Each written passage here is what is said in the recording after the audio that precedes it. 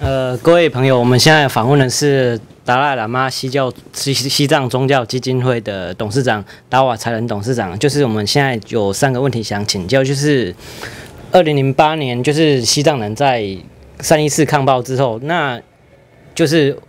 网络上就说，呃，西藏境内连就譬如说影印文件啊，是譬如说。做任何动作控管都非常严重，那可不可以请董事长为我们就是说明一下，现在目前中共在西藏境内的控管的情形是这样？OK，啊，这个我拿了。OK，是这样。嗯，当时呃抗议发生以后呢，中国政府刚开始呃镇压抓了很多人，那么现在统计来说，大概有还是有有名有姓的有九百多人失踪。那么失踪的里面可能很多其实已经被他们杀了，因为现在中国政府刷，怎么说呢？就其实一种很无赖的，他就把藏人杀死，然后把尸体抢过去粉碎或者消灭，毁尸灭迹，然后说我们不知道这个人在哪里，呃，以这以这个这种方式去，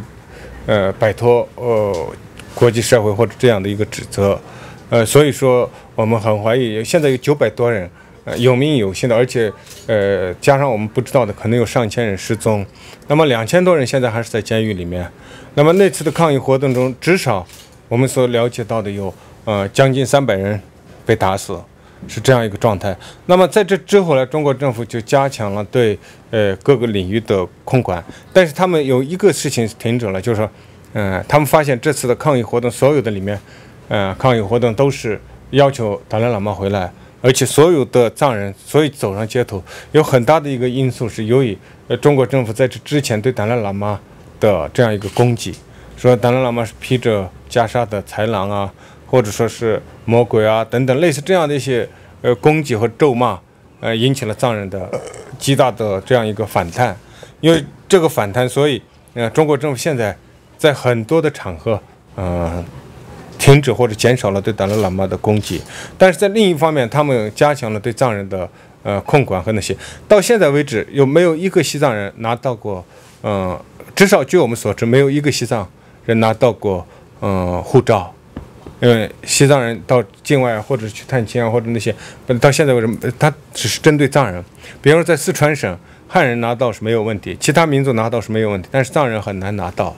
嗯。嗯，呃同样的，呃，在青海省或者说在甘肃省都是这样，呃，它是以民族就针对藏人是这样，你们拿不到护照，所以你没办法出去。呃，第三个是它加强了对呃知识分子的镇压，呃，因为呃在那时候，呃有很多的一些歌曲，呃，人民怀念达赖喇嘛，呃，是以及呃表达西藏民族被呃殖民统治以及被压迫，呃，西藏民族没有自由。呃，这样一些苦难，或者说这样一种痛苦的这样一些歌曲，他们都是藏语歌曲。藏语歌曲可能中国政府因为呃没有西藏人愿意向他们报告，所以他们一直不知道，流行了很长一阵。那么那时候他们可能了解到这些，所以说呃在这后面一个最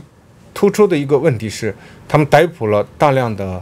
这样一个呃写诗歌的、写书的。或者就是藏文的作作者，或者唱歌的，大概至少有五十多个人，呃，这个对西藏人来说是个很大的数字。那么这些作者全部被抓，哦哦，包括我们所知道的另外有一个叫呃夏东的这样一个人，那么他其实是在这之前，西藏人一直把他视为是倾向于中共的，因为他不太喜欢宗教，他认为西藏民族应该呃不应该把所有的精力和智慧以及呃生活的中心。被宗教所占领，那么西藏人一直认为他是为中共效劳的。但是他说西藏现在的变化是非常巨大的，而且他建议，呃，西藏人捐款的时候不要把钱交给政府，而是直接给灾民，因为这些事情他被抓起来，呃，这是一个国际上比较关注的一个例子。但是在除了这个以外的其他的，像知识分子被抓的很多，啊，那么第三个问题是，呃，对一些寺院的一些，嗯，管制越来越严。嗯，他们要求对呃僧人啊，或者是对寺院的一些主管啦的控制越来越严格，而且不允许他们到处去讲经啊、说法这些。呃，更主要的是，呃，中国在西藏所有的地区都进行了一系列的这样一个调查。那么调查的结果，他们发现，呃，藏人很少看那些中央电视台的电视节目，或者是中文节目，他们只是看一些藏文的节目，然后是听美国之音啊。呃自由亚洲电台或者国境外的电台很多，而不喜欢看那个中文的电台或者电影的时候呢，呃，中国政府曾经，呃，现在正在推行一个政策，就是说，嗯，让更多的藏人去接受他们的电视台，藏语电视台，以及呃，把中共的机关报《人民日报》藏文版，